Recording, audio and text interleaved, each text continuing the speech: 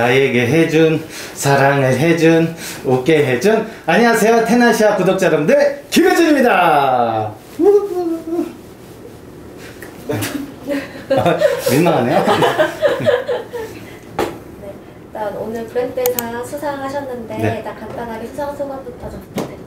어, 정말로 어, 저한테는 너무 큰 상인 것 같아요. 어, 이렇게 소비자분들이 직접 이렇게 투표를 해주셔서 이렇게 선정을 해주신 거라 더 큰 의미가 있는 것 같고 어, 상을 받고 더 열심히 해야 되겠다는 생각이 굉장히 많이 드네요. 네.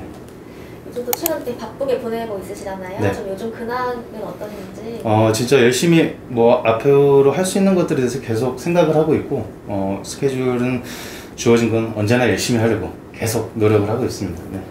이제 알아보시는 사람들도 되게 많을 것 같은데 네.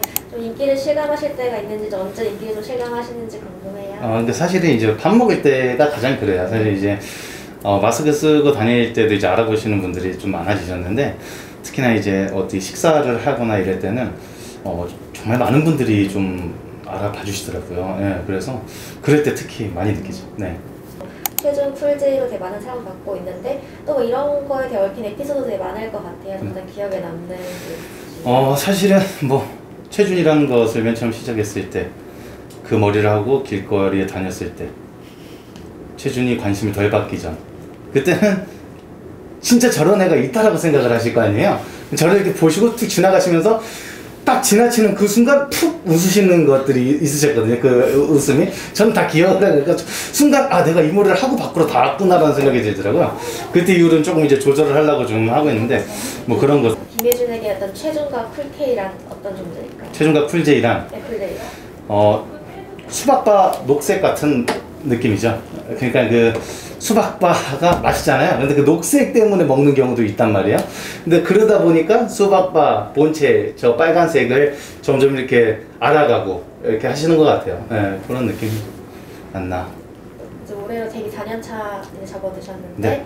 이제 어, 이전의 활동들 좀 돌이켜 본다면 좀 어떻게 좀잘 보내고 계시는 것 같은지 또 앞으로 하고의 목표도 이제 어떠신지 사실은 어, 이전에 4년을 생각해 보면은 계획한 대로 됐던 건 잘 없던 것 같아요. 누구나 다 똑같지 않을까라는 생각을 해. 그래서 앞으로는 사실 계획을 크게 정해놓지는 않았어요. 그냥 주어진 일들을 열심히 하다 보면 그 점들이 아주 좋게 이어지지 않을까라는 생각으로 앞에 있는 일들을 최우선으로 열심히 하려고 생각하고 있습니다.